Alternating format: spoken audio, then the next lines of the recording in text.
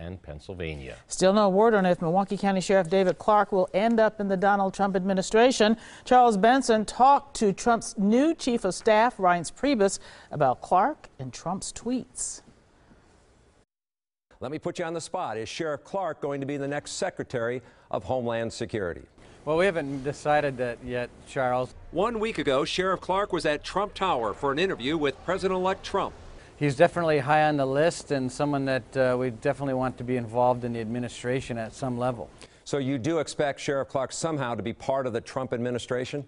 I think that he's going to have opportunities. On taxes and trade, Trump tweeted over the weekend that American companies could face, quote, retribution or consequence if they move jobs or build a plant outside the country and then try to sell those products in the U.S. I understand the goal here is to try to keep jobs in America, but why would uh, Mr. Trump think that would be sound economic policy? Well, we have to take away incentives from companies that uh, where they have an advantage to go overseas and ship jobs overseas. It doesn't mean we're punishing companies, but what it is is saying, look, we're going to do things here in America so that you won't want to leave to go to China or Mexico. Priebus says that includes lower corporate taxes and better trade agreements.